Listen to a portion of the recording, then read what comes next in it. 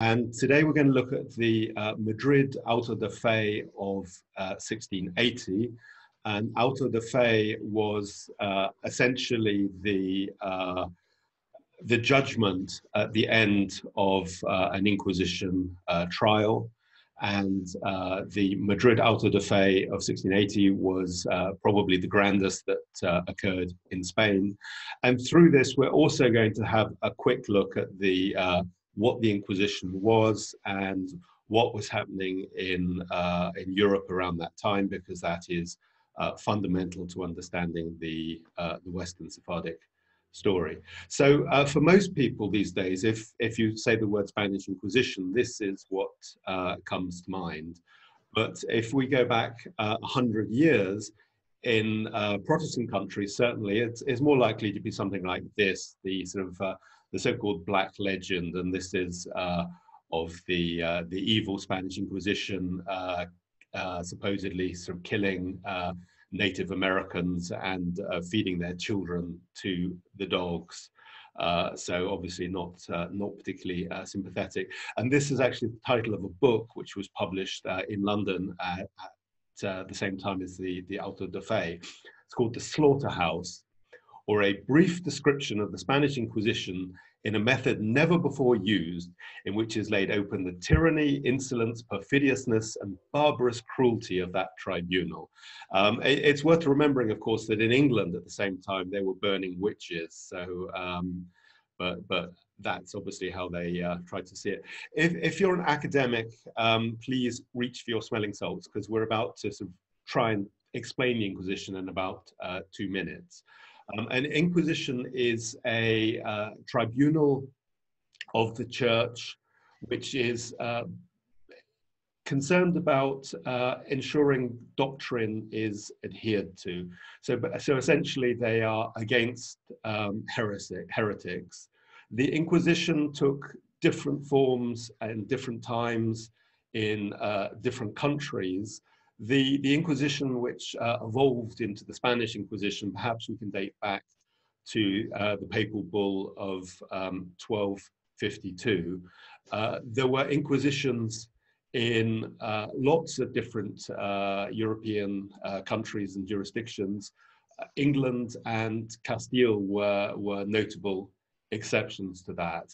And in, in this, this, this picture, we, we see the uh, Albigensian crusade, and this was the uh, French king uh, attacking the Cathars, who had uh, religious views different from the Catholics.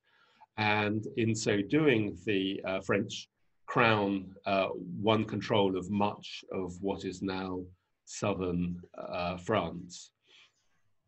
On the other side of the Pyrenees, there had been a war going on between the uh, on and off between the uh, Muslims in the south and the Christians in the north for hundreds and hundreds of years. And the uh, Christians gradually uh, were winning out over the Muslims. And what this meant as they won territory, uh, new territory, was that they acquired uh, Jews and Muslims and they had to decide what to do with these populations. Um, in some cases, they would uh, expel them. In other cases, they were forcibly baptized, which, to be fair, is actually against canon law, is against the uh, the church law. And in other cases, people uh, voluntarily uh, chose to uh, be baptized, some because they believed uh, in the church teachings, and some just because they wanted to get on. And obviously, if you became a Christian, suddenly lots of uh, doors were open to you. You could, most obviously, you could join the church. Uh, various professional careers were more open. You could uh, join uh, orders of chivalry. You could even join the the Spanish aristocracy. Um, and, th- and, this was largely resented by many of the people whose families had always been Christians who, who suddenly found themselves under competition. And this even led to, uh, to, to rioting and bloodshed. And the eventual solution to this was to declare two categories of Christian. Somebody whose family had always been Christian was called an old Christian, and somebody whose family uh, had been Jewish or Muslim and had converted was uh, called a new Christian. and surprise, surprise, these new Christians were then banned from uh, lots of jobs because they didn't have uh, the purity of blood, uh, so called. And um, the, the Inquisition, uh, as, as we've seen, wasn't uh, in uh, Castile until relatively late. The Catholic monarchs, Ferdinand and Isabella, uh, petitioned the Pope in uh, 1478, and uh, an inquisition was established unusually under the authority of the crown rather than under the uh, authority of the church. And uh, this was important because the Inquisition was one of the few national uh, institutions within Castile and Aragon, let's just call it Spain for simplicity.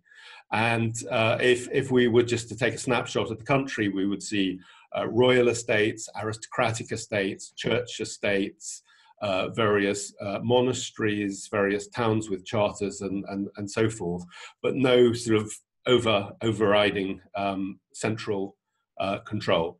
And the first Inquisitor General is this chap on the right, uh, Thomas de Torquemada, who himself had some Jewish ancestry. So uh, Ferdinand and Isabella uh, completed their conquest uh, of the Iberian Peninsula by capturing Granada in 1492.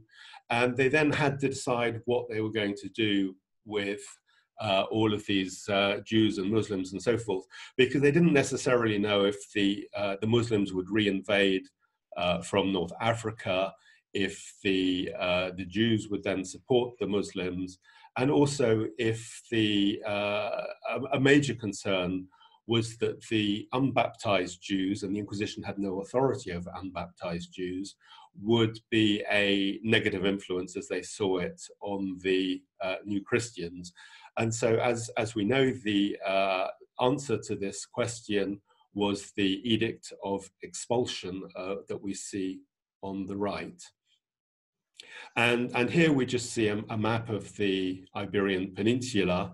Uh, under the Edict of Expulsion, people either had to, uh, Jews had to convert to Roman Catholicism or to leave. And uh, many converted uh, in previous generations, many more had converted. Uh, but in 1492, uh, some, the ancestors of what we now call the Western Sephardim, sort of historic communities of places like Amsterdam and uh, London, they uh, traveled uh, west into Portugal. Um, however, two years later, they were forced to convert in Portugal. So they became uh, new Christians within Portugal, although at that stage, Portugal had uh, no Inquisition and the uh, ancestors of what became uh, the Eastern Sephardim uh, moved into the Mediterranean. Some joined uh, established communities in North Africa. Others went to Italy, to the Ottoman Empire, and beyond.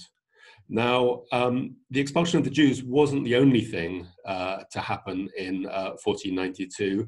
This is a uh, rather fanciful painting by the French artist Delacroix. I'm afraid I've, I've cut off the, um, the Catholic monarchs' heads on the uh, far right, but, but this shows uh, Columbus uh, returning from the Americas. He, he thought he was going to the Indies, but he, he discovered America instead.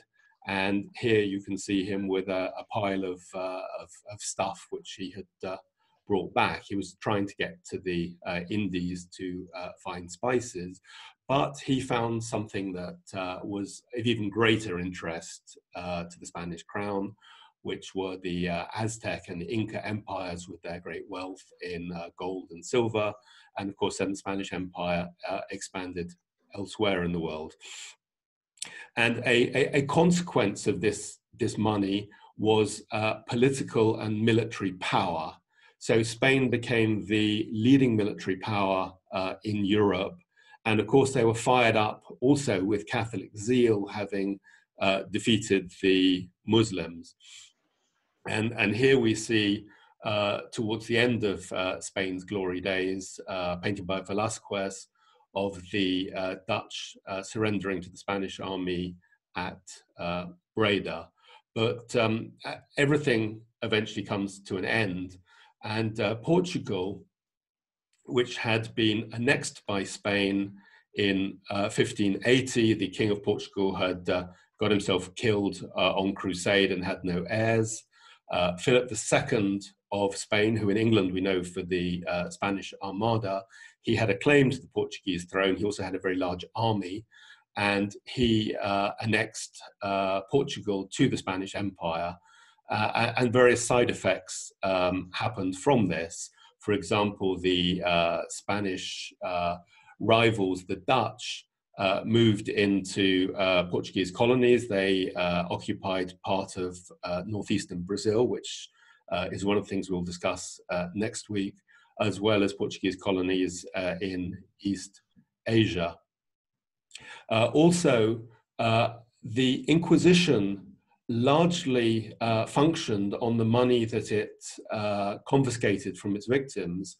And the Spanish Inquisition, after the expulsion of the Jews and the you know, assimilation of, of new Christians over a few generations, had rather run out of victims and had uh, somewhat wound down. Whereas once the Inquisition had been introduced into Portugal, it, uh, it, it, was really an, a very, very unpleasant and very busy institution. And so when Philip II uh, annexed Portugal in uh, 1580, an unexpected side effect was that uh, Spain was suddenly opened up to these uh, Portuguese New Christians, of course, many of whose grandparents, great grandparents had, had come from Spain in the first place. And the advantages of, of going to Spain were, were several. That first of all, the uh, Spanish Inquisition was uh, nowhere near as fierce as the Portuguese Inquisition. The Spanish economy was booming thanks to its colonies uh, in, in the Americas and elsewhere. Cities like uh, Seville and Madrid were expanding uh, very quickly. And also some of the wealthy uh, New Christians uh, merchants from Portugal acquired uh, national monop monopolies in Spain. For example, the, uh, the salt monopoly or the uh, tobacco monopoly, which I think is especially interesting for us, that uh, tobacco was, if you wanted to buy tobacco, it was a state monopoly uh, but this was uh, farmed out to uh, an entrepreneur for a fixed sum of money. And this businessman would then uh, essentially uh, send people to all the small towns and, and, cities and so forth in Spain to be sitting at a kiosk selling, selling this tobacco. And when the Asiento passed to New Christians, they brought in uh, poorer New Christians from Portugal. Um, and, and so in uh, 1640, uh, Portugal declaring its uh, independence from Spain, although Spain didn't recognize it for another uh, 28 years, it was an indication of Spanish decline. But at the same time, for the New Christians who had moved into Spain, that's to say, people from Portugal of Jewish ancestry, they suddenly became sort of enemy aliens as well as their um, historic uh, ancestry. So, um, not just uh, Portugal, uh, five days after the accession of uh, Louis XIV of France, the, the Sun King, the uh, previously invincible Spanish tercios, their, their military units, were um, heavily defeated by the French at the Battle of uh, Rocroi. And then later, um, Louis XIV, here looking rather well dressed on, on a battlefield in the uh, Spanish Netherlands, uh, today more or less Belgium, uh, defeated um, the Spanish yet again. So the Spanish were going from being the uh, preeminent power to uh, being very much on the back foot. And amongst their other problems uh, was this King Charles II of Spain was the uh, consequence of Habsburgs, uh, the, uh, the, the, royal family, marrying their cousins for uh, generations. And he had uh, physical and mental uh, disabilities. And the key question in, in Europe at that time was what was going to happen to Spain after him. Because if we take a quick look at this map, we can see uh, Spain uh, at the bottom and the Spanish monarchy extends into southern Italy. Of course, they also have uh, uh, the Spanish Netherlands and other possessions, and of course, the um, Americas. Um, France was the uh, rising power. Of course, the Dutch and the English were also challenging the French. If the uh, French were to get control of the Spanish empire, then they would be invincible. So obviously the Dutch and the English didn't want that. Uh, the alternate claimants to the Spanish throne was the other branch of the Habsburg family that we can see in uh, Austria, the sort of mustard color, um, more or less in the, uh, the center right of the screen. And of course, if the Austrian Habsburgs acquired the uh, Spanish Habsburg throne, then France found it would find itself um, surrounded on all sides which uh, they, they didn't want either. And so what, uh, what happened was that King Louis XIV uh, managed to marry one of his uh, granddaughters uh, to Charles II. Um, so this essentially was to get the French foot uh, in the door. Unfortunately, Charles II was unable to father children, but this marriage formed the, the backdrop of the, uh, the Auto de Fe that we're going to look at in uh, 1680. Uh, and the Auto de Fe uh, took place here in Madrid's uh, very beautiful Plaza Mayor. Um, and uh, it was actually the, the second large Auto de Fe that had been held in Madrid. The previous one was in 1632 when Spain was still a great power and you know i'm, I'm not a historian I, I, I will stand corrected but it seems to me that uh, a large part of the purpose of this auto de fe in uh, 1680 was to say to the french and to other powers you know spain might have lost portugal it might have had some defeats but it was still a, a great european uh, power. And um, it, uh, it, it, took quite a quite a lot of planning to have such uh, uh, an auto de fe on, on such a grand scale. Um, as, as we can see here, they had to bring in carpenters and they sort of built up um, stands on either side. It's a bit like a, a, sort of football stadium in a way. They also built uh, an altar um, in the middle and uh, fitted out the balconies so that uh, the Grand Grandeza de España, the sort of VIPs, could could watch. Um, now, of course, most uh, auto de fe were not um, such uh, grand affairs, but um, from the Catholic uh, theological perspective, what, what is going on here is, is perhaps summarized by this uh, painting of the Last Judgment, where in um, Catholic belief, uh, Jesus will return to the earth, he will uh, raise the dead, and he will judge between the good and the evil, sending the, uh, the good to heaven and the uh, evil uh, to hell. And, and the, the Inquisition, uh, you know, we might think it was about power or money or something else, but from a theological point of view, they, they, they thought that almost they were reflecting um, God's, God's work on earth. Um, now, of course, uh, most auto de fe were not particularly uh, grand.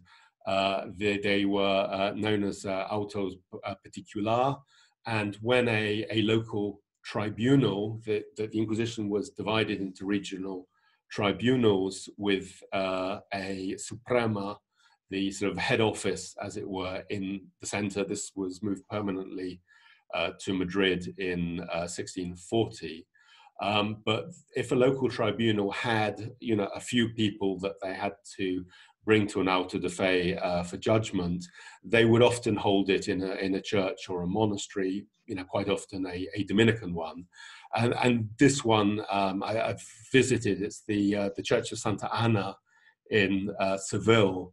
And uh, my, my own ancestor had his auto de fe here in 1698, uh, a few years after the grand one, but his brother and sister-in-law um, were at the grand one, and and it was sort of better if if you were going to be in an auto de fe, uh, not that you had a choice. It was probably better to be at one of these smaller ones because you weren't uh, paraded through the street having some rotten vegetables and things thrown at you and uh, having a, a public uh, humiliation. But um, this this is a, a painting from Goya um, about 120 years later, um, showing uh, again an auto de fe, and you can see this is in a church, but it's it's still packed and still presumably highly unpleasant uh, for for the prisoners.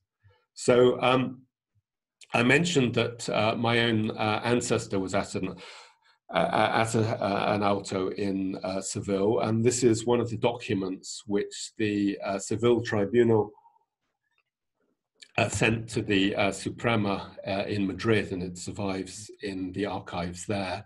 Um, if we look a bit closer, this is um, a high quality document. It is relatively good handwriting, well preserved, easy to read. And if we just have a quick look, we can see sort of Don Antonio de Mendoza, alias Juan Antonio de Castro y Mendoza, natural, born in the city of uh, Jaén, resident in this uh, of this is an abbreviation for Seville.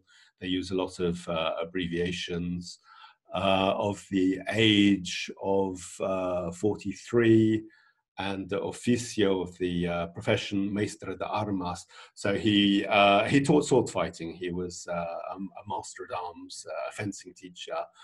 Alto, so he's tall. Uh, the buen cuerpo, good good body, mm-hmm. and then we'll we'll skip the bit where it goes on about his yellow um, yellow eyes. Um, so uh, we, we, we, saw at the beginning a, a document published, uh, a book published in England, which is just attacking the Inquisition. And the, the propaganda war worked in both ways. And what we're looking at now is a, uh, I suppose we could call it a souvenir brochure uh, produced, um, sort of describing what happened at this uh, Auto de Fe. And you can see here on the third line, it says it's, it's celebrated. And it, it was. It was a religious occasion, a political occasion, and probably also a, a social occasion. So let us close in on the actual Auto de Fe itself. So two days before it happened, the uh, captain of the guard, that's to say the guy who was in charge of uh, security uh, for the event. He, he met his men by the um, old uh, city walls of Madrid, by the Alcala Gate, and um, checked that they had um, enough wood for uh, burning um, those who were going to be uh, burnt. And then he, he, he took a, a bundle of this uh, wood and he went up to the uh, old royal palace and uh, there he met with the uh, Duke of Pastrana, who was a, a, grandee of Spain, one of the uh, senior aristocrats. And uh, the Duke uh, took the wood from the captain and he took it to the king. And the king then showed it to his unfortunate bride, possibly explaining what it was for. Reportedly, he, he returned the wood to the uh, Duke of Pastrana saying to put it on the pyre with his blessing. We, we don't actually know that this is the case. As I say, he had various uh, physical and uh, mental disabilities, but that's certainly what the, uh, the Spanish propaganda says. And the uh, Duke of Pastrana then uh, gave it back to the captain and sent him on his way. And so then we move to the day before the Auto de Fe, where we have the uh, procession of the Green Cross, and there is also a procession of the White Cross. And these started uh, from the headquarters of the uh, Inquisition. That building was destroyed uh, in the 19th century. All that survives now is, is part of the uh, cellars, which of course could have been uh, their cells. And uh, rather, rather oddly, that is today a cocktail, uh, a cocktail bar. So um, the uh, procession of the Green Cross uh, started at the uh, cocktail bar. It was led by a uh, senior figure within the Dominican order carrying a green cross. and it included the, the people who were to appear in the Auto de Fe, the uh, bones of, of some of those who had, uh, had died before the Auto de Fe, uh, some guards and members of various uh, religious orders and um, military orders and so forth. And they went from the Inquisition headquarters to the Plaza Mayor, where the Auto de Fe was to be held, and they put the green cross next to the high altar that had been built there, and they then put a black uh, cloth over it, and it was watched overnight by Dominican uh, monks. Meanwhile, the uh, procession of the White Cross headed up to where the uh, the uh, prisoners who were to be burnt were to be burnt. So it was just basically going there to uh, organize everything. After the procession of the Green Cross had arrived at the Plaza Mayor, of course, the uh, prisoners were, were held um, overnight nearby. And so we arrive, uh, sorry, uh, first of all, this is just a couple of, of pictures from, uh, actually this is Holy Week in Seville, but maybe it gives a, a slight feeling of, uh, of, of, of, what the atmosphere um, would have been like. And so um, I think we should also say that uh, this was, uh, generally speaking, they like to have a very uh, dignified um, event, but uh, people were very status oriented. So in the earlier Auto de Fe, the uh, Franciscans, uh, pictured on, on the left in the brown cassocks, were upset that the uh, Dominicans in the uh, black cassocks had given them too lowly a position within the uh, the uh, parade of the Green Cross, and they then went off in a strop uh, back to their monastery. But on on this occasion, everything uh, went as as planned, and so we now meet, reach the the morning of the 30th of June, 1680 Generally, an auto de fe would start at about nine o'clock. The uh, prisoners and the guards would be given the, their breakfast. The uh, prisoners who were to be killed uh, would be uh, told of their fate, and then the events would start. This auto de fe was different. It had um, 120 people to be got through, so it was very, very large. And they decided to start at five o'clock in the morning instead uh, and uh, also, generally speaking, the people to be executed would hear their sentences last, but the Inquisition liked people to be burnt uh, whilst it was still daylight. So on this day, they decided that they would give those people their uh, their judgments at uh, 4 p.m.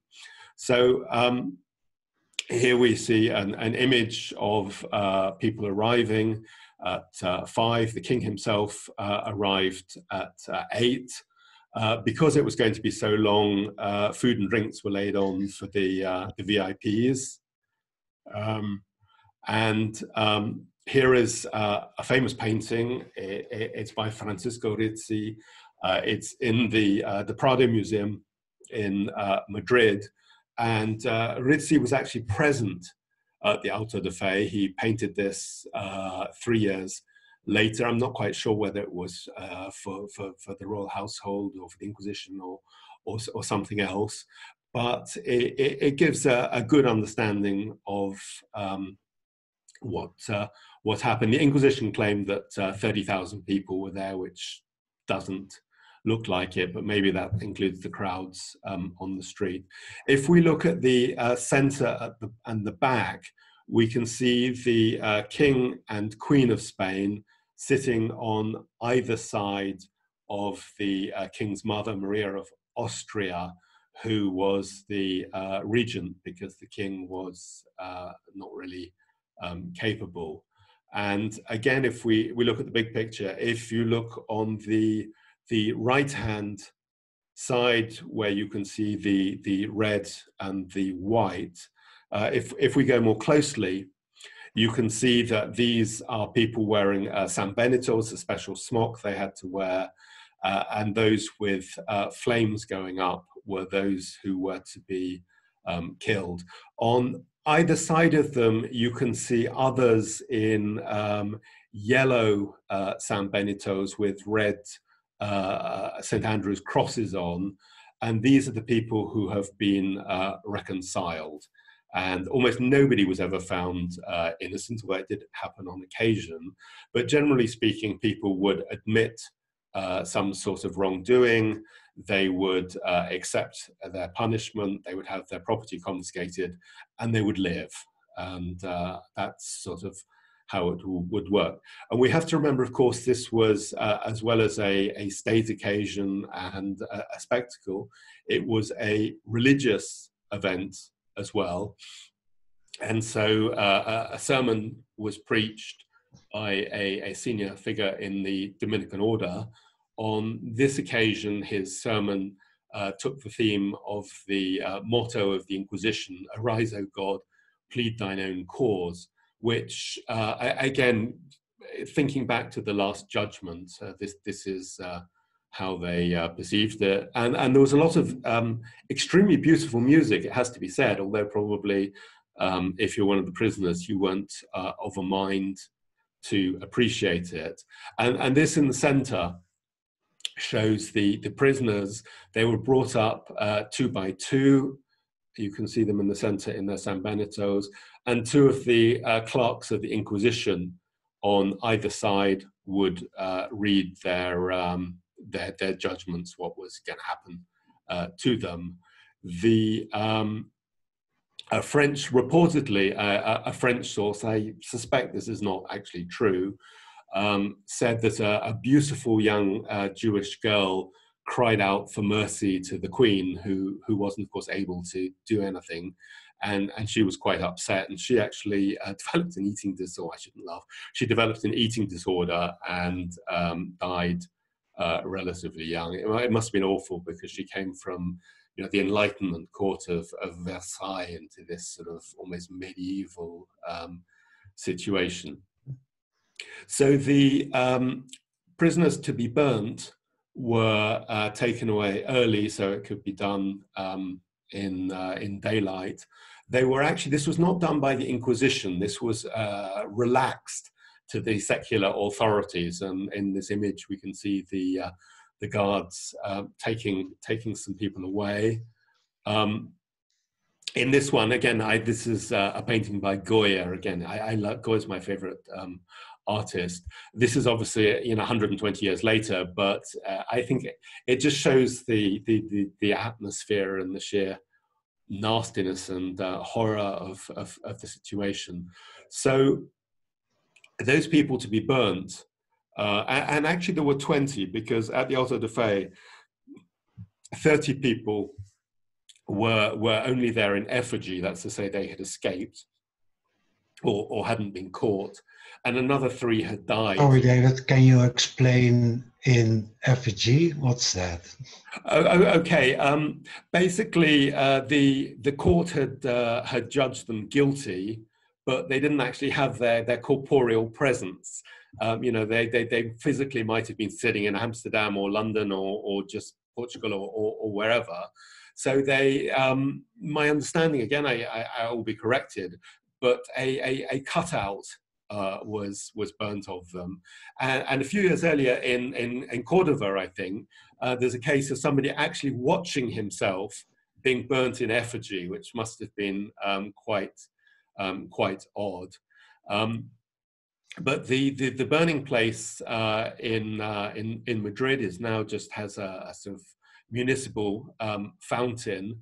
Um, twenty people were burnt alive anybody who uh, wanted to be reconciled at the last minute uh, could be uh, garroted uh, before they were burnt alive so that they would already be dead uh, when they were burned.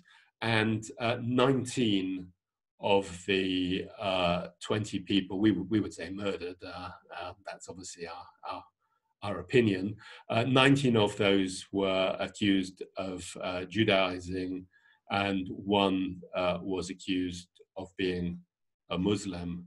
Um, to go back to the uh, people who were uh, reconciled to the Catholic Church. Um, what what happened to them is, is they were had to answer uh, 14 questions. Basically, I think it's the Catholic uh, Catechism. You know, do you believe in the Trinity? Yes, I believe, and, and so forth. And at the end of this, they were ceremonially uh, forgiven. The uh, black um, cloth over the green cross was uh, removed, candles were lit, and uh, prayers uh, were made. But um, this wasn't the end of it because they were then sent into uh, what was in the Soviet Union would have been called internal exile, so that they had to leave uh, Madrid. They couldn't go back to their uh, towns of origin, and they were not allowed within 12 miles of the sea or the border. I, I mentioned that uh, some of my own kinsmen uh, were there. And so if you look at number 61, this is uh, Juan de Castro y Torres, who was the uh, brother of my uh, direct ancestor. And if you look at the second line, he says, uh, it says, originario de Portugal. So this guy, he was born in Spain, but they're still saying he's of Portuguese origin. That's to say, you know, he's of unclean blood. He's not, not really one of us. Um, below his wife, uh, Ana Maria de Orobio, uh, who was also uh, a Navarro, which I suspect might be the uh, Navarro family we, we, we, have in London now. Um, if we look at number 63 at the top of the other um, second column, we see Anna Maria's uh, brother Antonio de Orobio, uh, alias Antonio de Hinosa, alias Antonio Navarro. And this guy actually, he escaped from Spain. He went to Portugal where he was caught by the uh, Portuguese Inquisition and burnt alive. Um, also, actually, Juan and Ana Maria's youngest uh, child, Miguel, he was uh, arrested uh, by the Inquisition near Sao Paulo in Brazil and taken back to Lisbon, uh, where he was burnt alive.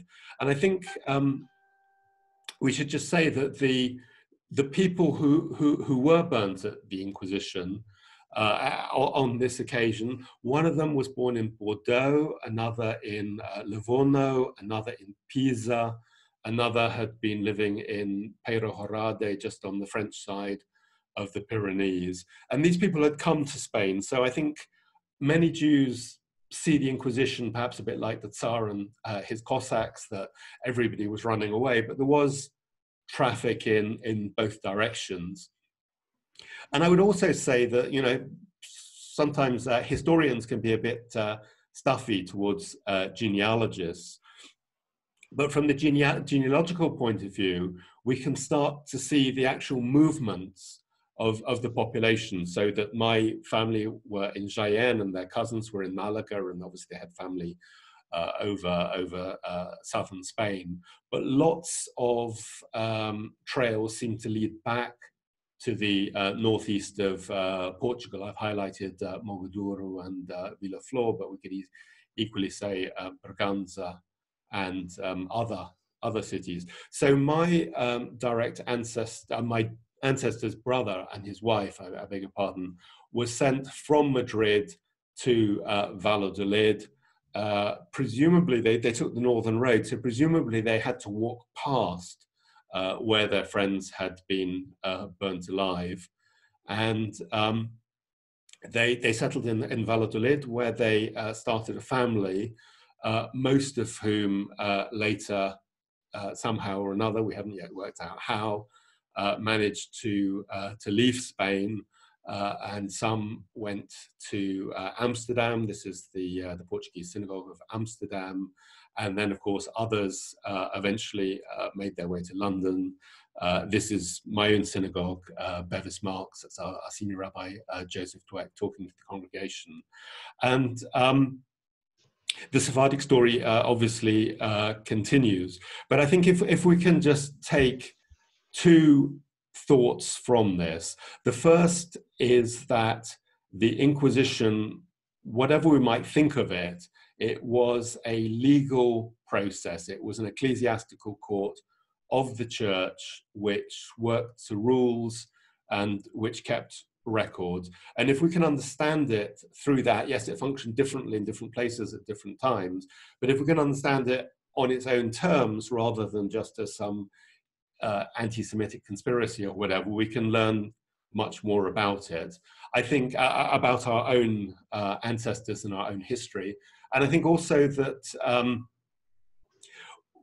if we better understand what was going on in the uh, late 17th century, early uh, 18th century, uh, it, makes much more sense. a lot of the Western Sephardim, they were born in one country, married in a second, and, and buried in the third and and I think if if we place them within the historic context, we uh, we, we we we learn much more. So um, I'm afraid I've, I've I've I've talked for a bit too uh, long. So so let me uh, have my water and hand over to to Ton. thank you, David, for a most interesting talk. Um, before uh, I will uh, allow questions, just a short look ahead. We will talk with Daniela Weil in a week, same time, uh, about Dutch Brazil and the first Jews of New York. And we will also talk about Daniela Bell's new book, Asa Levi, one of those who left Brazil for uh, New York. You can sponsor a meeting or you can support us at Patreon so we will be able to recover our costs in the future. I will um, now give you the opportunity to unmute yourself and to ask uh, questions. Questions, anyone? Um, are, are, there questions uh, in the uh, the chat or or indeed comments? Yes. Uh, do you know if a copy of the procesos around the world was sent to the Vatican at some point? Presumably, uh, someone is hoping that uh, the records will be kept in the Vatican. I doubt it. I, in fact, I'm sure not because it was under royal authority uh, in Spain. Mm-hmm. Um, I, I, think what we can say is it's generally been believed that um, the most of the Spanish procesos uh, have been lost, while obviously the, the most of the Portuguese ones uh, survive. There are a large number of uh, procesos uh, in Madrid which haven't even been indexed. Well, when I say a large number, this is what I've been told. Um, so, so hopefully we can uh, we can uh, start to uncover um, some more information. And also, various libraries around the world have uh, have have copies. What what happened is is Napoleon when he invaded Spain in whatever it was, as 1809, 1808. Um, he, he was interested in the Inquisition, so carted all their records um, back to, uh, to Paris. And uh, then at the end of the uh, Napoleonic Wars, they were brought back to uh, Madrid. And a lot of these were, were lost um, in, on the journey in, in both directions. And then, of course, in the various civil wars and whatever in Spain, more, yet more documents have been lost. Um, would you be able and willing to do a lecture on an auto da fe that took place outside of Spain, Portugal or New Mexico? Well, we, we we we have been discussing this. There was the um, there there is one actually in um, is one was one in in, in Mexico, uh, which somebody has uh, completely translated into English, and maybe maybe that would be a, a, a useful one to look at because the these Inquisition procesos they did there was literally I mean I showed indeed I showed a picture of there was literally a handbook as as to how how how to run your your tribunal, and so they did follow a a pretty fixed. Uh, format, including a genealogical uh, section. Now, obviously, some people would uh, withhold information or provide uh, false information. But I think I think where we are now, as a lot of these documents start to be uh, digitized, is is you know with a lot of us now interested in the subject, we can probably start to uh, to get uh, get more information from them. In uh, 1679, uh, there was a plague in Europe. Was there a connection between this plague and uh, the Auto da Fe of 1680? Like maybe sort of uh, um, penitence from the side of the Spanish? I, the honest answer is I don't know. Mm-hmm. I would think probably not, because the Inquisition is is going through various judicial processes, and also the given reason for having the auto de fe was the celebration of the nuptials of um, Charles II and uh, Marie Louise. Um, mm-hmm. so, but I, I, I, don't know. Also, it would make sense to be socially socially distancing rather than uh, bringing crowds together for an auto de fe. But I don't know. Maybe maybe somebody else has the answer. Okay. So, questions, anyone? Might also add, if you're interested in an overall view of the Inquisition, Henry Kamen's book on the Spanish Inquisition, the history of it, is a good background, not emphasizing just the Sephardic Jews, although it's a majority of it, but rather the whole institution and its functioning when it was created, the decrees that were involved, and finally its dissolution in the 1830s. Could I ask a question? Can you hear me? Sorry, can I, can I, yes, I can. Can I, can I just jump in with that? Because there, there is a whole so historiography of the Inquisition, rather perhaps depending on, on one's politics. So that, for example, the, the father of the current uh, Israeli Prime Minister, uh, Benzion Netanyahu, uh, was a, a, famous historian who took a uh, somewhat revisionist uh, position. He, he, actually, in his time, was Jabotinsky's uh, secretary. Uh, and his view, I mean, I, I, I, simplify, but was more or less it was a, lot of anti Semites doing what uh, anti Semites do. Whereas you can go to the other extreme where you have Catholic apologists who saying, well, not really many people died and they weren't killed by the church and it was all okay. But um, no, I, I, I, I, hear you and I, I think it is very useful to. Um, to, uh, to, to look at sources. One, one source which is, is available free online, it's, it's a bit old, is uh, Henry Lea's uh, three volume uh, history of the Inquisition. But um, yeah. That, so, so, that's a heavy read. It's a good book, but it's a, a long read to read through it. It surely is, yes. Sorry, Francis, you had a question. Yes. I've read some stuff about the socio run down the socio-economic background of, of, of, of the expulsions and the Inquisition, about the economy of Spain and Portugal, the economy of Spain, and the issues of where the Muslims and the Jews actually worked together before 1492 and then did and then didn't. But I'm just wondering what the socio-economic background is, because it has been said that the Spanish were trying to grab control of their entire economy, which I don't think was simply said because they said all the Jews are rich is poor. No, but is there a thread there which is rarely talked about? I am not a historian. I can say what I I suspect. I suspect that the uh, they were mercantilist economics, sort of how they saw it. You know, get the gold, plus for us is minus uh, for you. But I, I, don't think the Inquisition was actually interested in the uh, financial aspects. The, the, Inquisition itself, it survived off what it confiscated.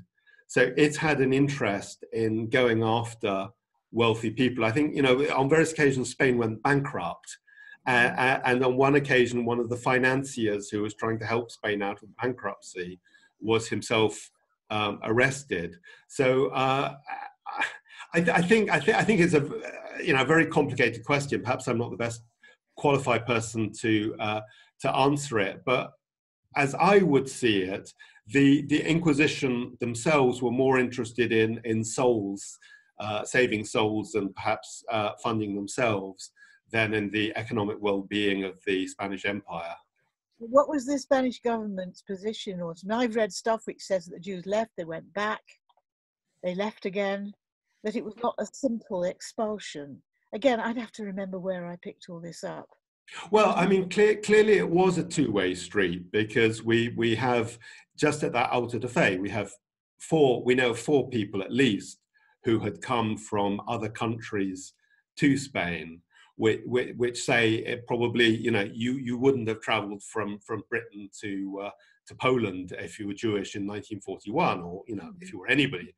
Um, so uh, I, I, I, I think you know, part, part, part of what Ton and I are, are hoping to do here, and we, you know, we, we are not uh, um, historians, uh, it, it is especially towards the um, the Jewish audience, is to um, throw out the thought that things are a bit more complicated and less black and white than we might uh, imagine.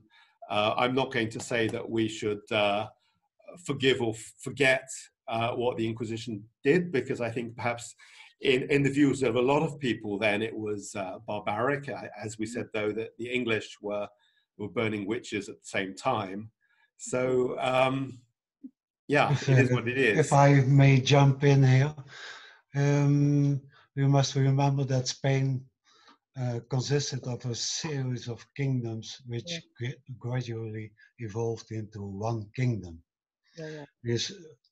There were all kinds of regions uh, some more powerful, some less powerful, with uh, nobles who had positions of power.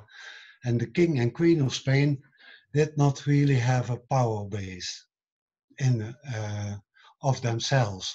Mm-hmm. And what they did is they used the Inquisition as one of the means to unify the, the whole kingdom and to get everyone uh, involved at the same level. Can I just jump for one second? Yes. Thank you. Um, the Jews at the time of the Black Plague, as of today, they always kept a completely different hygiene uses. They wash their hands. They actually try to keep a non uh, pork and all the non-kosher food outside of their diets. And it is proven that at that time it helped. I don't want to say that they were immune to the Black Plague, but it was a lot of Jews at that time that they managed to survive. I can still remember uh, my grandmother talking about the Black Plague from family to family went through. So that created a kind of uh, mystery, a kind of jealousy from the non Jews to why they were surviving. And correct me if I'm wrong, David, that might be one of the consequences as well for these persecutions, besides the economic, as you mentioned before. When a new Christian was born, they actually told him that he had to leave their town or the areas that they were living at. So who took care about all these positions that they had at that time? I think it's very, very complicated.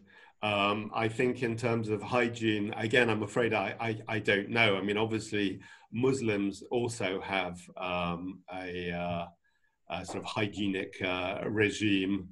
Um, I I wonder how clean, frankly, all the Jews were at that um, that stage. Uh, so I, I I'm afraid I. I don't. I don't. I don't know. We, I don't know. We have to remember that uh, anti-Semitism uh, predated the black the Black Plague.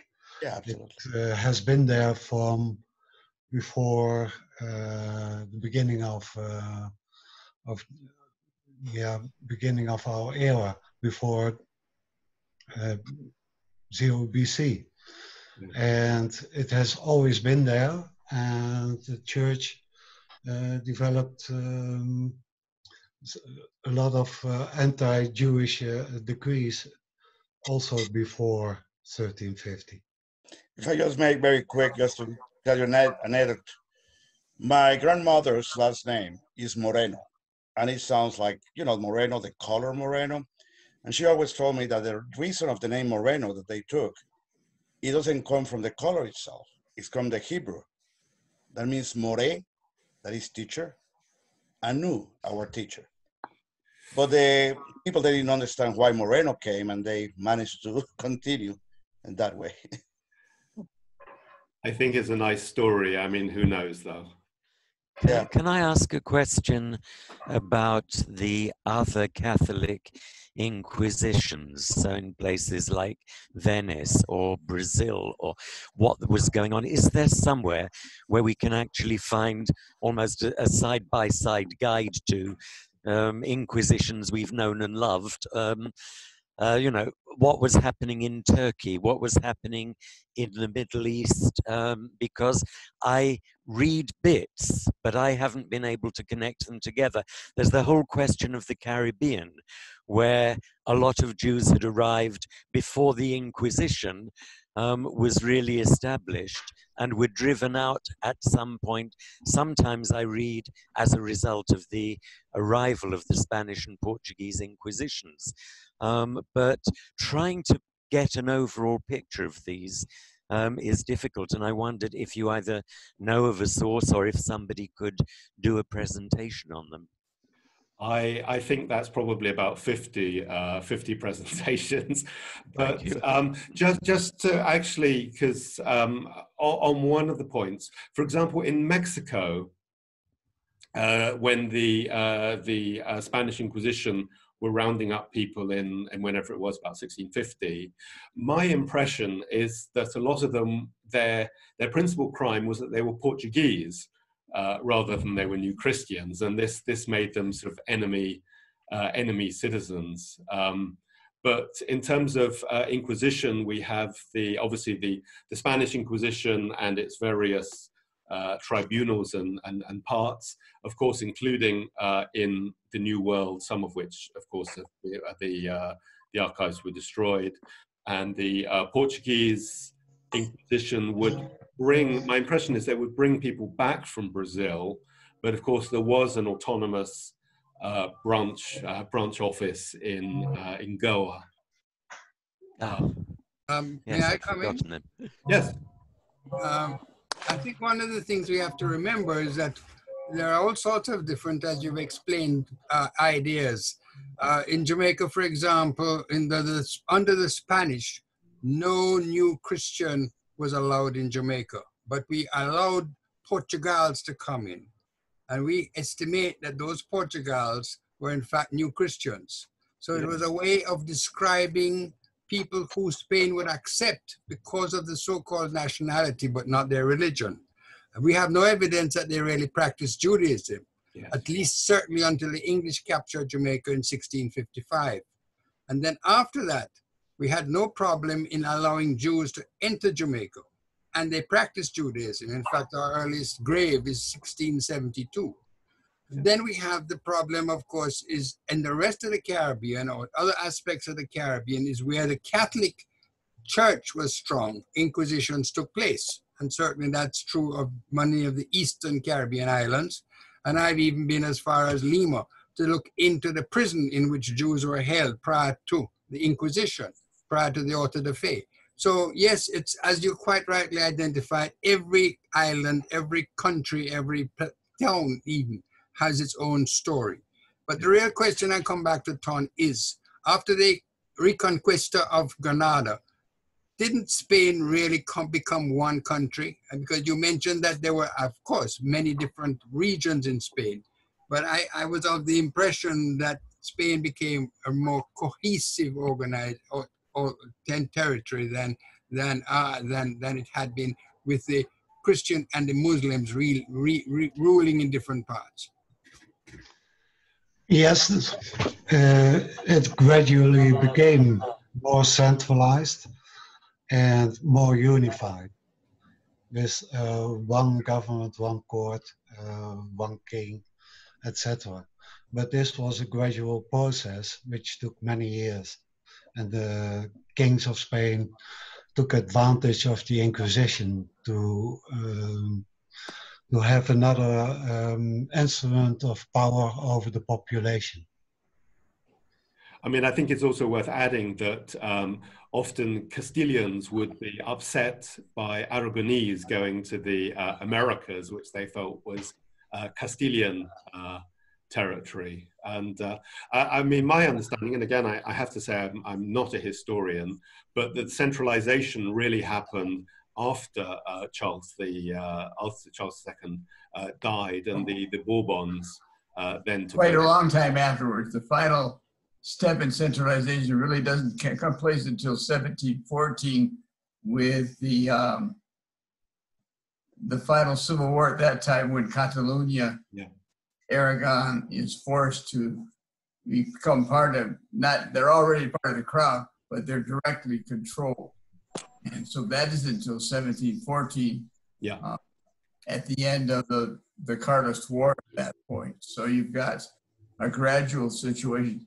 And the edicts about them not coming to the New World are not revoked until the late 17th, because the um, some of the Catalan regiment that's in California during the early years in San Diego and North in the 1790s and 18, early 1800s uh, are some of the first Catalans that were allowed into the New World after the uh, release of that, the lifting of that decree. So you've got a gradual process of that unification.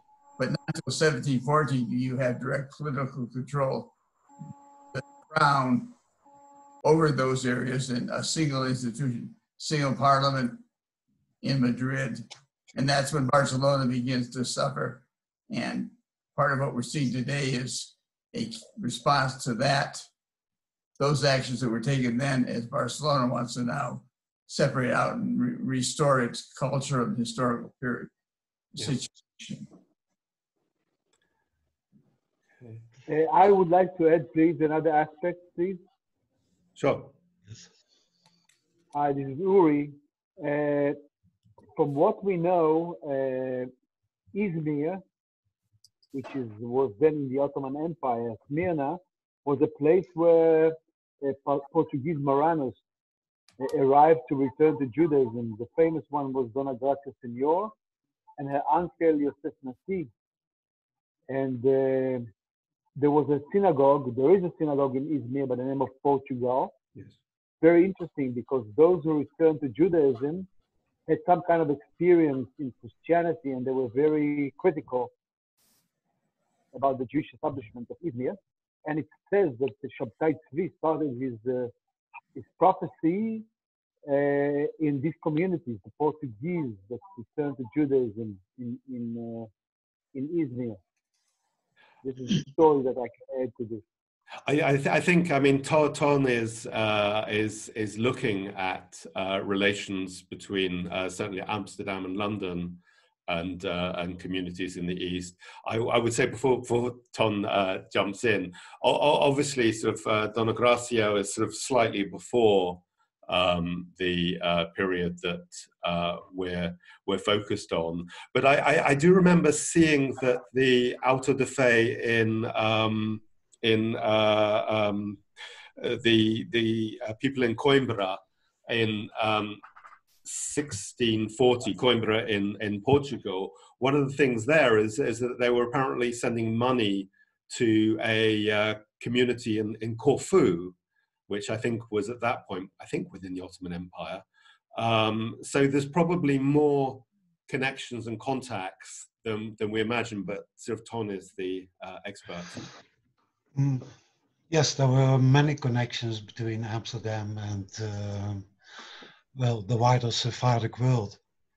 Uh, one of the aspects uh, of that is that they had a charity called Dotar, which doled out dowries to um, young girls and young orphans uh, throughout the known Sephardic world.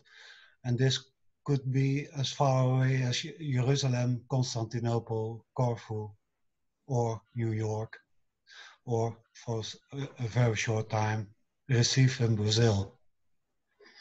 Uh, another aspect is that Amsterdam had a, well, uh, the Amsterdam community was relatively rich, and many people uh, went to Amsterdam when in need. Uh, not only individual people, but uh, from Jerusalem and Izmir, there were uh, sent to Amsterdam and throughout the whole of Europe, also to London, to Bordeaux, to collect money. And the third aspect of this relation between Amsterdam and the wider Sephardic world is that Amsterdam sent its poor away to other countries and gave them some money for uh, um, for the journey and often also some money to start a new life elsewhere.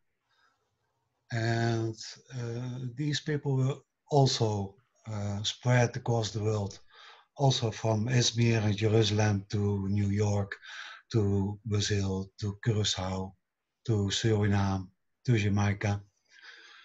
And another aspect is that a lot of Amsterdam Sephardim, although they are called Portuguese Jews, uh, came from elsewhere than Portugal, from Spain, from France, from Italy, from Constantinople, from Turkey, from Jerusalem, and from elsewhere.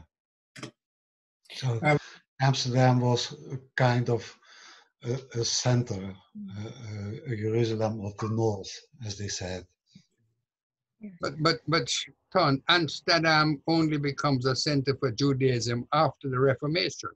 So the whole change in Europe becomes a change from Catholicism to allow Jews to settle, which happens also in England. And and and that to me is really one of the major changes of how Jews were able to continue to exist over the last 300 years. Uh, Yes.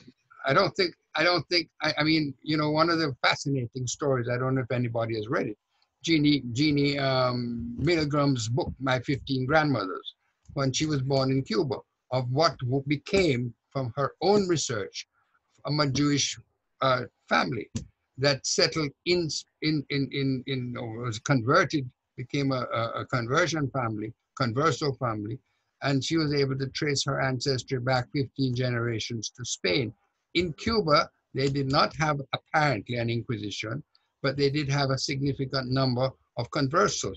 So it becomes a fascinating story because they were always Spanish until they until they were liberated, if you wish, by the Americans. In as far as I understand, um, Genie Milgrom's family emigrated relatively late to Cuba, Yes, relatively late. yeah. 19th century. That means that they must have been conversos in Spain already Absolutely. uh, during a long time. But I don't know if they always identified themselves as conversos. I don't think they would have been allowed to to been able to stay in that country or any country. We, we don't even know if they knew. I went to Portugal. So, so sorry, Phyllis, I didn't hear. Um, her family went to Portugal from Spain at some point. Um, I seem to remember Yes, um, uh, Oh, be- yes. because obviously she she, she used a, a, a superb genealogist. Um, I, I, I seem to remember they were in the the, the, the village of Fermoselle, which is just on the Spanish side of the uh, the, the Portuguese border, and presumably, like uh, as as as we were discussing before, that that part of the world seemed to be very uh, very full of new Christians. Right. Shall we, um, Tom? Do you want to wind up? They they've given us extra Yes. time because it's Mother's Day in uh, in the Netherlands. Um, but uh, Yes, um, we will try to answer uh, the other questions uh, in Can the I chat. ask a, That's a, a a little other point. question? because Um, of you, Gina, just, yes. um, uh, I'd just like to know whether the form of punishment that they used at the Auto da Fe was exclusive to that, or did they use those sort of punishments for their own criminals? Was it just reserved for Jews and Muslims? We burn lots of heretics. all, all, all, all, all varieties of, of, of heretics. Um, so you could be a uh, some sort of form of of Protestant. You could be uh, you could be gay. You could be Uh, well, witches, they weren't, I mean, I think they did burn a couple of witches, but they weren't that uh, believing in, in, in, that sort of stuff. So it, it, was about sort of heresy. And we have to remember they were pretty bloody times. I mean, as you know, we, we, we, we said before, in, in England, they were sort of busy burning witches and, uh, you know, doing equivalents across sort of Germany and France and everywhere else. So uh, I, I, I think it's perhaps a bit unfair to, uh, to accuse the the Inquisition of being uniquely bloody. I think perhaps what is perhaps especially to modernize is is how it was sort of an institutionalized um, way of doing it, like uh, like. Well, I suppose you shouldn't really make comparisons to Hitler and Stalin, but but that sort of almost well, not industrial, but um, ideological. Yeah. Thank you. Yeah. Thank you. Um, we shall end the meeting then, and we hope to see you next week when uh, Daniela Bell will uh, be speaking about uh, Brazil, Dutch Brazil, and the first Jews in New York. Bye all, and thank you for watching. Thank, thank you. you. Many thanks. Thanks. Thank you. Thank you. Bye bye bye. Bye bye. Thanks. Bye. Thank you. Thank you. Thank you.